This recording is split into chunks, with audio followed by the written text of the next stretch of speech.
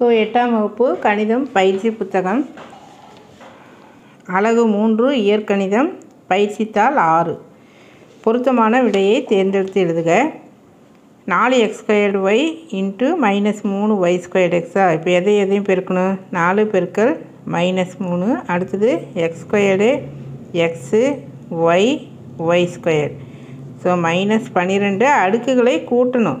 X power m into x power n சமம். X power m plus n so a power into a power n a power m plus n அடுக்கில் என்ன பண்ணிக்கணும்? கூட்டிக்கணும் இல்லையா? இப்போ இதை கூட்டினீங்கன்னா ரெண்டு ப்ளஸ் ஒன்று என்ன வரும்? மூணுன்னு வரும். ஸோ எக்ஸ் கியூப்னு வரும். அதே மாதிரி இதோட அடுக்கு என்ன? ஒன்று. ஸோ ஒன்று ப்ளஸ் ரெண்டு மூன்று. ஸோ ஒய்யின் அடுக்கு மூன்று. என்ன விட வரும் மைனஸ் பன்னெண்டு. எக்ஸ் கியூப் ஒய் கியூப் மை மைனஸ் பன்னிரெண்டு எக்ஸ் கியூப் ஒய் கியூப் எங்கே இருக்குது இது. இந்த ஆன்சர் வந்து சரியானது. அடுத்து பார்த்தீங்கன்னா ஒரு பெரியவர் மற்றும் சிறியவரின் பேருந்து கட்டணங்கள் முறையே எட்டு ரூபா அஞ்சு ரூபா. பெரியவருக்கு எட்டு ரூபா சிறியவருக்கு அஞ்சு ரூபா. அப்போ எக்ஸ் பெரியவரும் ஒய் பெரியவரும் வர்றாங்க அப்படின்னா இந்த எட்டை எக்ஸால் பெருக்கணும். அப்போ எட்டு எக்ஸ் தென் இந்த அஞ்சை வந்து ஒய்யால் பெருக்கணும். சிறியவர்கள் வந்து அஞ்சு ஒய் மொத்தமாக எவ்வளவு? ரெண்டே கூட்டினா எட்டு எக்ஸ் ப்ளஸ் ஒய் ஸோ இங்கே எட்டு எக்ஸ் ப்ளஸ் அஞ்சு ஒய் இங்கே எட்டு எக்ஸ் ப்ளஸ் அஞ்சு ஒய் இந்த ஆன்சர் வந்து சரியானது. அடுத்து பார்த்தீங்கன்னா மூணாவது கணக்கு. எல்லோட மதிப்பு பி ஹெச் மதிப்பு கொடுத்துருக்கா? வி என்ன formula l into b into h கொஸ்டின்லேயே கொடுத்துட்டாங்க. ஸோ எல்லு பி ஹெச்சுக்கு பிரதியீடு ஸோ மூணு பெருக்கள் அஞ்சு பெருக்கள் ரெண்டு. ஐ ரெண்டு பத்து பைத் மூணு முப்பது. ஸோ முப்பது எக்ஸ் ஒய் ஜெட் சரியா? அப்போ என்ன விட வரும்? முப்பது எக்ஸ் ஒய் இஜெட் அடுத்து பார்த்தீங்கன்னா அஞ்சு நாலாவது கணக்கு. இது இந்த பாக்ஸில் என்ன வரும் அப்படின்னு சொல்லணும். இங்கே இங்கே already a cube a cube a கியூப்பில் இங்கே ஒரு ஏ ஸ்கொயர்டு இருக்கா? அப்போ இன்னும் ஒரு ஏ வருமா? அப்போ இந்த ஏ எடுத்து பாக்ஸில் போட்டுக்கோ. அடுத்தது பிக்கு பி அப்படியே இருக்குது சி பவர் ஃபோரில் சி கியூப் இங்கே இருக்குது அப்போ இன்னும் இல்லாதது சி தான் இல்லை. அப்போ சி ஸோ இதில் ஒரு ஏ இல்லை இதில் ஒரு சி இல்லை அதை எடுத்து உள்ளே போட்டுக்கோ. அப்போ ஏசி மைனஸ் ஆல்ரெடி இருக்குது ஸோ ஏசி இதனுடைய விரிவாக்கம். இதை உள்ளே கொண்டு போய் பெருக்கு. அப்போ மூ ரெண்டு ஆறு எம் ஸ்கொயர்லையும் எம்மையும் பெருக்குனீங்கன்னா எம் கியூப் இல்லையா? அடுக்குகளை என்ன பண்ணணும்? கூட்டிக்கணும். அடுத்தது மைனஸ் போட்டுக்க. நாலு ரெண்டு எவ்வளவு? எட்டா. எம்ஐ எண்ணையும் பெருக்குனீங்கன்னா எம் என் அடுத்தது ஏழால் பெருக்கிறேன். ஏழால் பெருக்கிறப்ப ஏழு ரெண்டு பதினாலு. எம்முக்கு எம்மு அப்படி எழுதிக்க. ஸோ இந்த விட எங்கே வருது? இங்கே பதினாலு எம் சரியா? இந்த விட கரெக்டு அடுத்தது பொறுக்கு பொறுத்துக. இதுவும் இதுவும் சரியாக இருக்குது ஆனால் இங்கே எக்ஸ்பவர் ஜீரோ வருது. அடுக்கில் எது வந்தாலும் என்ன விட? எக்ஸ்பவர் ஜீரோ வந்து ஒன்று. ஏ பவர் ஜீரோ ஒன்று. ஆயிரம் பவர் ஜீரோ ஒன்று. ஸோ எத்தனை எண்ணெய் பெரிய எண்ணெய் எவ்வளோ எழுதினாலும் அதனுடைய அடுக்கு ஜீரோ போட்டால் விட என்ன? ஒன்று. அப்போ இது மாறாது. அதே ஆன்சரே தான். அப்போ இந்த பிங்கிறத எடுத்து இந்த இடத்துல எழுதிக்க. அடுத்து ரெண்டு எக்ஸ் ப்ளஸ் மூணு ரெண்டு எக்ஸ் மைனஸ் மூணு. A plus b into a minus b சூத்திரம் என்ன? ஏ ஸ்கொயர் மைனஸ் பி ஸ்கொயர்டா அப்போ இது இது பொருத்தமாக இருக்குமா? அப்போ இதுக்கு சின்னு எடுத்து எழுதிக்க. அடுத்தது ரெண்டு x plus y then minus நாலு எக்ஸ் ப்ளஸ் ரெண்டு ஒய் இது அப்புறம் பார்க்கலாம். ஜீரோவால் எதை பெருக்கினாலும்? ஜீரோ. அப்போ இந்த ஏ இந்த நாலாவதுக்கு இந்த ஏ எடுத்து எழுதிக்கலாம். மிச்சம் எழுதாதது ஏபி சி டி இதை எடுத்து எழுதிக்க. சுருக்கமான விடை தருக. ஒரு பல்லுறுப்பு கோவையை நாம் எப்பொழுது ஈருறுப்புக்கோவை என அழைக்கின்றோம்? எடுத்துக்காட்டு தருக. ஒரு பல்லுறுப்புக்கோவையில் இரண்டு உறுப்புகள் அமையும் பொழுது அது ஈருறுப்புக்கோவை பேர் பேர்லேயே தெரிஞ்சது ஈர் உறுப்பு அப்போ எடுத்துக்காட்டு ஏதோ ஒன்று எழுதிக்கலாம். மூணு எக்ஸ் மைனஸ் நாலு ஒய் நாலு plus one by x minus மூன்று என்பது ஒரு பல்லுறுப்புக்கோவையா என ஆராய்க. இந்த கணக்கு வந்து பல்லுறுப்புக்கோவையா அப்படின்னு போடுறோம். கண்டிப்பாக வந்து இல்லை. என்ன காரணம் அப்படின்னா இப்போ இது இதனுடைய இங்கே கீழே என்ன எடுப்போம்? மீசியமா எக்ஸ்னு எடுப்போமா? இது அப்படியே குறுக்க பெருக்கு. குறுக்க பெருக்குனின்னா நாலு எக்ஸ். இந்த எக்ஸும் எக்ஸும் கேன்சல் ஆயிரும். ஒன்று. இது இதையும் குறுக்க பெருக்கணும். அதாவது இங்கே கீழே வந்து ஒன்றுன்னு வந்தால் டைரெக்டாக அதை அப்படியே பெருக்கணும். இல்லாட்டி இப்படி கூட போட்டுக்க. இது ஈஸியாக இருக்கும். கீழே என்ன இருக்கோ அந்த உறுப்பு எடுத்து இந்த மாதிரி போட்டுக்க. இப்படி எழுதும் பொழுது எது இருக்கோ அதை வந்து கேன்சல் பண்ணியிருக்கோம் கொஞ்சம் பெருசாக பண்ணி காமிக்கிறேன் அப்போ இங்கே நாலு பெருக்கள் எக்ஸு நாலு எக்ஸா எக்ஸு எக்ஸ் என்ன ஆயிரும்? கேன்சல் ஆயிரும். அப்போ ஒன்று இருக்குமா? இதில் மூணு பெருக்கள் எக்ஸ் மூணு எக்ஸ் மைனஸுக்கு மைனஸ் இப்போது இந்த கீழே வந்து எக்ஸ் இருக்கு இல்லையா? இந்த எக்ஸை வந்து நம்ம மேலே கொண்டு போகிறோன்னு வையும். இப்படி மேலே கொண்டு போகிறப்போ அடுக்கு வந்து மைனஸ் ஒன்றுன்னு ஆயிரும். பிகாஸ் எக்ஸு எக்ஸ் அப்படிங்கிறது இந்த டினாமினேட்டரில் இருக்குது இது மேலே கொண்டு போனால் என்ன ஆகும்? மைனஸ் ஒன்றுன்னு மாறிடுமா? அப்போது இந்த மாதிரி மைனஸ் ஒன்று வரக்கூடாது. பல்லுறுப்புக்கோவையில் குறையடுக்கு உள்ள உறுப்பு இடம் பெறாது. அதனால் இது வந்து தவறு. அடுத்தது இயற்கணித கோவைக்கும் பல்லுறுப்புக்கோவைக்கும் உள்ள வேறுபாடு யாது அப்படின்ட்டுருக்கு இயற்கணித கோவையில் ப்ளஸ் வரலாம் பெரு கூட்டல் கழித்தல் பெருக்கல் வகுத்தல் எல்லா அடிப்படை செயல்பாடும் வரும். ஆனால் பல்லுறுப்புக்கோவையில் அந்த வகுத்தல் வந்து வராது. எதனால் வகுத்தல் வராது அப்படின்னா இப்போ இங்கேயே சொன்ன பாரு. இப்போ இங்கே இப்படி ஒரு வகுத்தல் இருக்குது இப்போ இந்த வகுத்தலில் அடுக்கு என்ன ஆயிடுது? மைனஸ்ன்னு மாறிடும். ஸோ பல்லுறுப்புக்கோவையில் அந்த மைனஸ் குறி வர்ற கோவை வந்து இடம் பெறாது. செகண்ட் பாயிண்ட்டு இங்கே எழுதியிருக்கிற மாறியின் அடுக்கு குறையெண் உள்ளதாக அமையும். இதில் இயற்கணித கோவையில் மாறியில் குறையெண் இருக்கலாம். இது வந்து சரி. ஆனால் பல்லுறுப்பு கோவையில் இது வந்து பல்லுறுப்பு கோவை இந்த கு- எண்ணாக மட்டும்தான் இருக்கணும். எக்ஸ் பவர் மைனஸ் த்ரீன்னு வரக்கூடாது. எக்ஸ் பவர் ப்ளஸ் த்ரீன்னு தான் வரணும். ஸோ இந்த மாதிரி இந்த ரெண்டு டிஃப்ரென்ஸ் இது ஒரு பாயிண்ட்டு இது ஒரு பாயிண்ட்டு இதில் அந்த அ- வகுத்தல் வந்து வராது. காரணம் என்னென்னா அடுக்கில் வந்து வகுத்தல் வந்துச்சுன்னா என்ன ஆயிரும் சொன்னேன் இந்த மாதிரி மைனஸ் குறி வந்துடும் பட் மைனஸ் குறி வச்சு நம்ம அடுக்கில் மைனஸ் குறி வச்சு பல்லுறுப்புக்கோவையை எழுத மாட்டோம். பக்கத்தில் வரலாம் இப்படி. X cube minus three x இந்த மாதிரி வரலாம். பட் அடுக்கில் வந்து இப்படி மைனஸ் த்ரீ அப்படின்னு சொல்லி பல்லுறுப்புக்கோவையில் வராது. ஸோ இது தவறு. அடுத்தது ஒரு சதுரங்க அட்டையின் பக்கம் எட்டு எக்ஸா பரப்பளவு என்ன ஃபார்முலா பக்கம் பெருக்கல் பக்கமா? ஸோ எட்டு எக்ஸ் இன்ட்டு எட்டு எக்ஸா எட்டு எட்டு அறுபத்தி நாலு x into x x square ஏன்னா அடுக்குகளை எப்பொழுதுமே என்ன பண்ணணும்? கூட்டணும். அடுக்குகளை மறக்காமல் கூட்டிக்கணும். இதை வந்து பெருக்க சொல்லுங்க இது பெருக்கும் பொழுது நாலு மைனஸ் ரெண்டு ஐந்து. அப்புறம் என்ன இருக்குது எக்ஸ் கியூ எக்ஸ் எல்லாம் ஃபஸ்ட் எழுதிக்க. அடுத்தது இது எழுதிட்டோம். எக்ஸ் கியூப் எழுதிட்டோம் எக்ஸ் எழுதிட்டோம் அடுத்தது ஒய் எழுதிக்க. அடுத்தது இஜெட்டு இங்கே இஜெட் இங்கே என்ன இருக்குது? இஜெட் இருக்குது வேறு ஏதாவது இருக்கா? எதுவுமே இல்லை. அப்போ நாலு ரெண்டு எட்டு எட்டஞ்சு நாற்பது மைனஸ் நாற்பது. அடுக்குகளை கூட்டிக்கலாமா? அப்போ எக்ஸ் பவர் நாலாச்சா இந்த அடுக்கு கூட்டியா ஒய் பவர் ஒன்று ஒய் பவர் ஒன்று என்ன? ஒய் ஸ்கொயர்டா இங்கே இஜெட்டு ஸோ இதனுடைய ஆன்சர் வந்து இது. அடுத்து ஆகியவற்றின் பெருக்குத் தொகையை காண்க. இது இதே மாதிரியே தான். மைனஸ் இன்ட்டு மைனஸ் என்ன? ப்ளஸ்ஸு ஐநாங்கு இருபது இருபது மூணு அறுபது. அடுத்தது இந்த இதோட அடுக்கு ஒன்று இதோட அடுக்கு ஒன்று. அப்போ அடுக்குகளை கூட்டினு வரும்? எக்ஸு ஸ்கொயர் இந்த இடத்துல வந்து ஒய் ஸ்கொயர் ஸோ அறுபது x square y square so இதுதான் ஆன்சர் தென் நெக்ஸ்ட்டு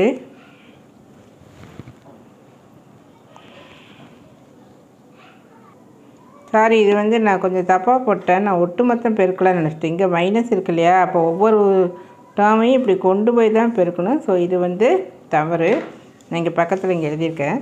அப்போ இதோட ஒவ்வொரு உறுப்பையும் உள்ளே கொண்டு போய் பெருக்கு ஸோ அஞ்சு எக்ஸ் மைனஸ் மூணு எக்ஸ் மைனஸ் நாலு ஒய் ஸ்கொயர் தென் மைனஸ் மூணு எக்ஸ் இப்படி பெருக்குனா தான் ஈஸியாக இருக்கும் ஸோ ஐ மூணு பதினஞ்சு.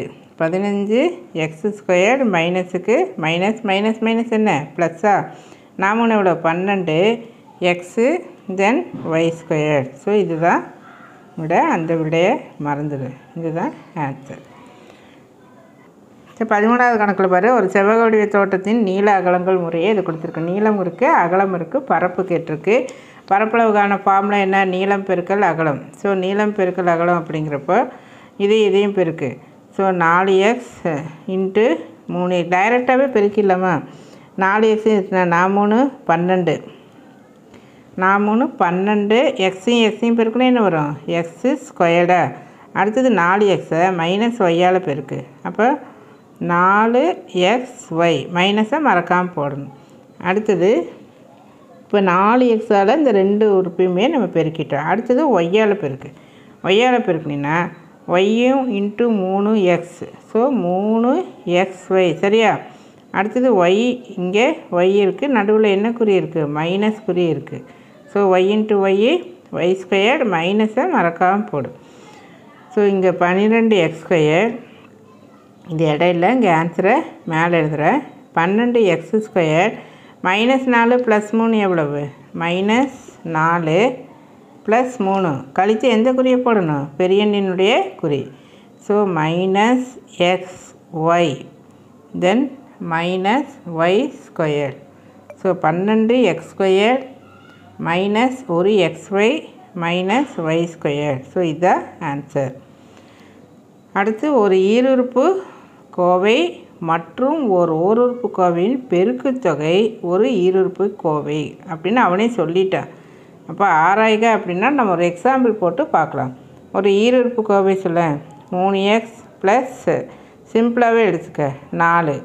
இன்ட்டு ஒரு ஓருறுப்பு கோவை நாலு ஒய் இது ஒரே உறுப்பு தான் இருக்குது இங்கே ரெண்டு உறுப்பு.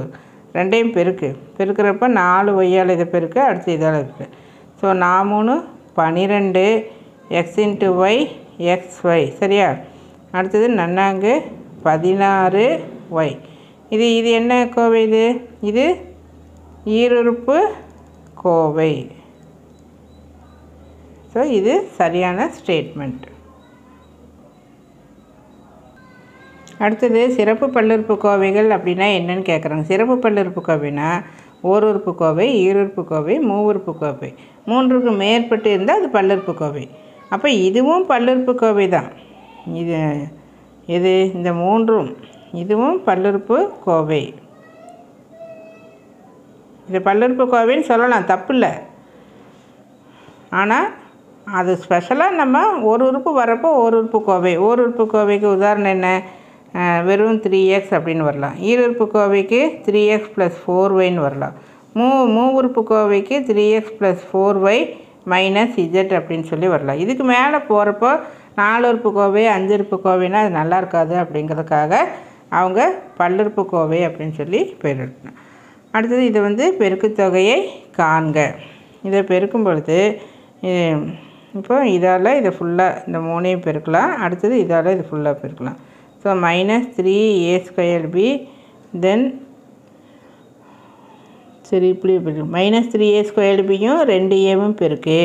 அடுத்தது மைனஸ் த்ரீ ஏ ஸ்கொயர்டு பியும் மைனஸ் மூணு பிசியும் பெருக்கலாம் இந்த உறுப்பால் இந்த ரெண்டையும் நம்ம எடுத்துட்டோம். அடுத்தது அஞ்சு ஏபிசின்னு இருக்கு இல்லையா? அஞ்சு ஏபிசியை ஃபஸ்ட்டு ரெண்டு ஏவால் பெருக்கலாம். அடுத்தது அதே அஞ்சு ஏபிசியை இங்கே அடுத்தது மூணு மைனஸ் மூணு பிசி அப்படின்னு சொல்லி பிரிக்க. ஸோ இது ஃபஸ்ட்டும் இதுவும் இதுவும் இதுவும். அடுத்தது இந்த உறுப்பும் இந்த உறுப்பும் இந்த உறுப்பும் இந்த உறுப்பும். இப்போ இருக்கும் பொழுது மைனஸ் இருக்கிறப்போ கொஞ்சம் கவனமாக போடணும். ஸோ மைனஸ் ஆறு. அடுக்குகளை கூட்டிக்க. இங்கே ஏ ஸ்கொயர்டு இருக்குது இங்கே ஏ ஏயின் அடுக்கு ஒன்றுன்னு இருக்கா? அப்போ டைரெக்டாக போடணும். ஏ கியூப் அடுத்தது இன்னும் எழுதாதது பி மைனஸ் மைனஸ். என்ன ஆயிரும் sir three three sir nine அடுக்குகளை கூட்டு பார்க்கல இங்கே ஏவே இல்லை. அப்போ ஏ ஸ்கொயரை அப்படியே எழுதிக்க. இங்கே பி நடுக்கு ஒன்று இங்கே பி நடுக்கு ஒன்று அப்போ ரெண்டு அடுக்குகளை கூட்டிட்டேன் இங்கே மிச்சம் என்ன இருக்குது சி இருக்கா? அடுத்தது இதை கூட்டு. ஐ ரெண்டு பத்து. இந்த பெருக்கிட்டுனா ஐ ரெண்டு பத்து. இங்கே ஒரு ஏ இருக்குது இங்கே ஒரு ஏ இருக்குது அப்போ ஏ ஸ்கொயர் மிச்சம் இருக்கிறது என்ன? பிசி அடுத்தது ப்ளஸ் இன்ட்டு மைனஸ் மைனஸ் ஐமூணு பதினஞ்சு. ஒரு ஏ தான் இருக்குது இங்கே ஒரு பி இங்கே ஒரு பி அப்போ பி ஸ்கொயர் இங்கே ஒரு சி இங்கே ஒரு சி சி ஸ்கொயர் நம்ம லைக் டேர்ம்ஸாக இருந்தால் தான் கூட்ட முடியும். அதாவது ஒத்த உறுப்புகளை கூட்ட முடியும். இங்கே ஏதாவது a square b square c a square b square c ஒத்த உறுப்புகள் இல்லை. ஸோ இது சரியான விடை. அடுத்தது பார்த்தீங்கன்னா பெருக்குக. இது வந்து ஆக்சுவலாக நமக்கு வந்து சூத்திரம் தான். பட் அவன் பெருக்குக அப்படின்னு கொடுத்ததுனால நம்ம தனித்தனியாக தான் பெருக்கி ஆகணும். இப்போ இதை போட்டு ரெடியாக வச்சுருக்கேன். எப்படி பெருக்கலாம்? X x bracket x plus b இப்படி டைரெக்டாக பெருக்கிடலாமே. சரி எழுதிட்டேன். X bracket x plus b then plus a bracket x plus b இன்னும் மிச்சம் என்ன இருக்குது எக்ஸ் ப்ளஸ் சி இப்போ எக்ஸ் இன்ட்டு எக்ஸ் இருக்குது x squared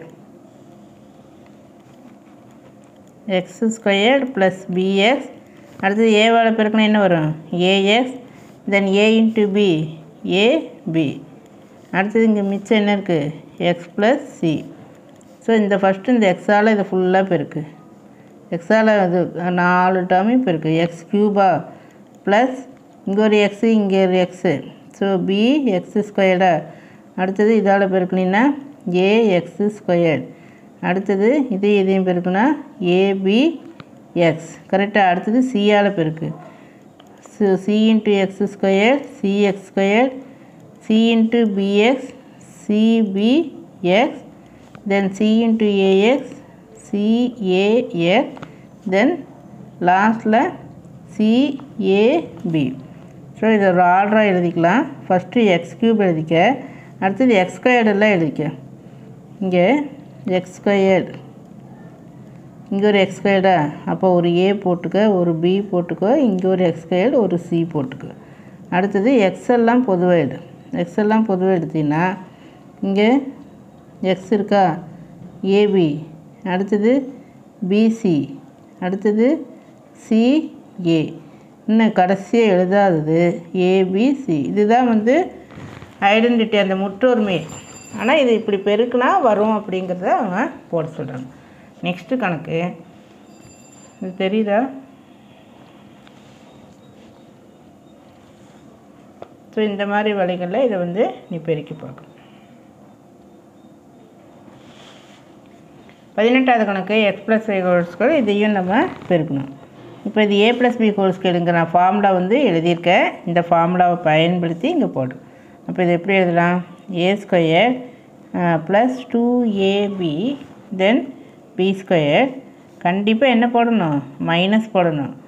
ஏ ஸ்கொயர் என்ன வரும்? ப்ளஸ் டூ ஏபியா minus two ஏபியா minus two a b then b square இங்கே எக்ஸ்ன்னு எழுதிட்டு நான் ஏபின்னுலாம் சொல்லிகிட்ருக்குறேன் அதுதான் கரெக்ட் ப்ரொசீஜர் ஏன் அப்படின்னா நம்ம கண்டிப்பாக அந்த சூத்திரத்தை சொல்லிகிட்டே எழுதுகிறப்ப ஈஸியாக இருக்கும். இப்போ மைனஸ் உள்ளே கொண்டு போய் x square plus two x y plus y square minus x square plus அப்போ ப்ளஸ் ரெண்டு x y then minus square குறி மாறிடும். மைனஸ் மைனஸ் மைனஸ் ப்ளஸ்ஸு இது மைனஸ் எது கேன்சல் ஆயிரும்? Plus y square minus y square இதுவும் இதுவும் cancel ஆயிரும். So four x y equal to RSS எல்ஹெச்எஸில் இது ஆரம்பித்தோம் ஆர்எஸ்எஸில் ஆன்சர் அடுத்தது விரிவாக்குக. இது first a plus b plus c video time அதிகமாகுது. ஸோ வீடியோ டைம் அதிகமாகுங்கிறதுனால நான் ஒர்க் அவுட் பண்ணிட்டேன். இதை பார்த்தீங்கன்னாவே புரியும். ஃபஸ்ட்டு வந்து இது ரெண்டாக பிரித்து எழுதிக்க. அடுத்தது ஏவால் இது எல்லாத்தையும் பெருக்கு பியால் எல்லாத்தையும் பெருக்கு சியால் எல்லாத்தையும் பெருக்கு. அப்படி உள்ளே கொண்டு போய் பெருக்கிறப்போ இந்த டேர்ம் கிடைக்குது. So a square plus b square c square ரெண்டு ரெண்டு ரெண்டு இருக்கும். ரெண்டு ஏபி ரெண்டு பிசி ரெண்டு சிஏ அப்படின்னு சொல்லி வரும். அடுத்தது எக்ஸின் மதிப்பு ஒய்யின் மதிப்பு கொடுக்கப்பட்டுள்ளது. அதை பிரதிட்டு இந்த மாதிரி பெருக்கிற. ஃபஸ்ட்டு ரெண்டு ஏல பெருக்கிற அடுத்தது மூணு பியால் பெருக்கினீங்கன்னா இது ப்ளஸ்ஸு மைனஸு கேன்சல் ஆகி இந்த ஆன்சர் வந்து வரும். தேங்க்யூ